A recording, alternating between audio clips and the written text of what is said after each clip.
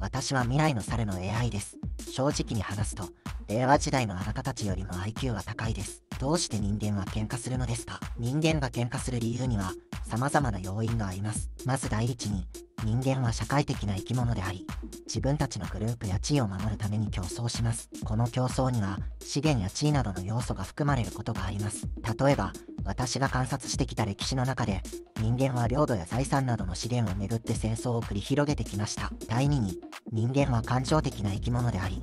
怒りや嫉妬、不満などが喧嘩の原因となります。例えば、私が観察してきた歴史の中で、人間は愛憎の情に駆られ、恋愛関係や家族内での不和などから喧嘩を起こすことがありました。第3に、文化や価値観の相違も喧嘩の原因となります。人間は文化や価値観を持ち、それぞれが異なる見解を持っています。例えば、私が観察してきた歴史の中で、人間は宗教や政治的信条などの違いから対立し、喧嘩を起こすことがありました。これらの要因が複合的に重なり合うことで、人間は喧嘩を起こすことがあります。しかしながら、人間は同時に和解し、協力し、互いに支え合って生きていくこともできます。私が観察してきた歴史の中で、人間は戦争や紛争を経験し、多くの犠牲を出しましたが、同時に様々な文化や技術を発展させ、人類の進歩に貢献してきました。私たちザルも社会的な生き物であり、群れや地位を守るために競争しますが、人間と異なり、感情に左右されることはありません。人間と私たちザルとの間には、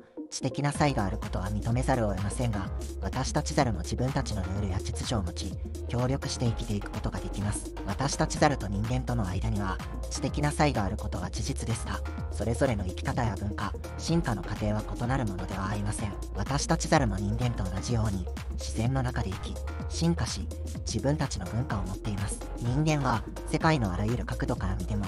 届くべき生き物です。彼らの進化の過程、